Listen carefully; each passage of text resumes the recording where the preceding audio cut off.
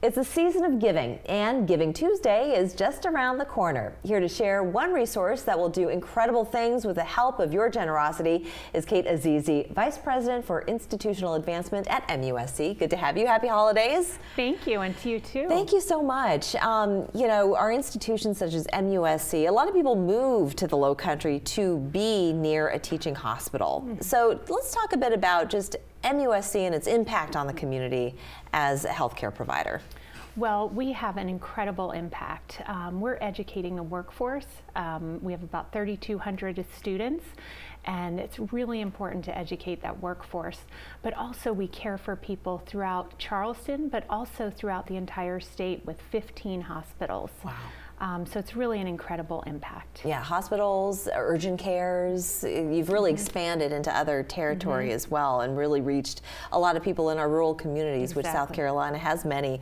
Um, but the, the fact that you're really on the cutting edge of a lot of health related technology attracts a lot of people, but you can't do it without the support of the community, philanthropy, and so on. Mm -hmm. So, so let's talk about Giving Tuesday and why it's so important and critical to your mission as a hospital. Sure.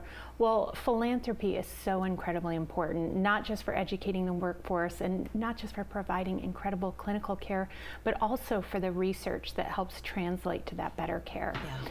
So when you give back on Giving Tuesday to MUSC, you might be giving to new research programs, you might be giving to scholarships, you might be giving to really incredible clinical programs like pet therapy or art therapy for our patients to really make that tough tough time for example in um, you know if you're a child at the hospital yeah. having those programs is really critical indeed and let's talk about that gamut that you just kind of touched on and the fact that we have the cancer Center, we have the Children's Hospital. There are so many different arms to MUSC to help various illnesses, diseases, mm -hmm. and afflictions. Yeah. And when you give back on Giving Tuesday to yeah. MUSC, you can actually choose that area.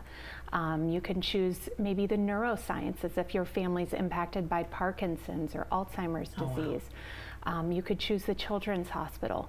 You could choose a particular college that you're interested in, or you could choose one of our different divisions throughout the state, mm. um, our different hospitals that give back to people in um, other communities outside of the Low Country. I think that's great. A lot of people, when they're affected, as it relates to their health or the health of their family, they then become, it becomes their mission to mm-hmm. further the advancement of that technology and research mm -hmm. to find cures, to find treatments.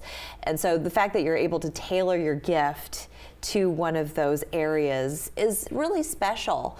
Mm -hmm. um, and, and the impact, I mean, it's kind of selfish to say so, but you're investing in yourself as well by giving to MUSC because MUSC is there when you need it. Hopefully exactly. you don't, but it's there when you do. Mm -hmm. Between Tuesday, November 28th, between midnight and 11:59 p.m.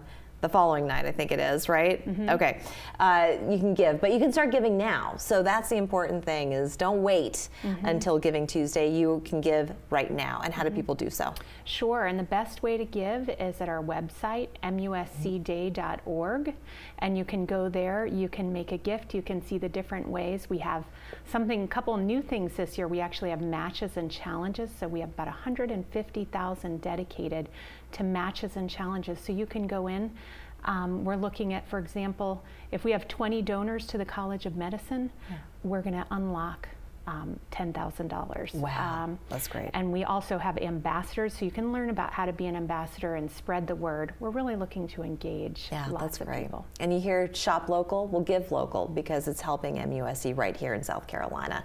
Thank you so much, Kate. I appreciate your time with us. Great, thank you. We're back in two minutes.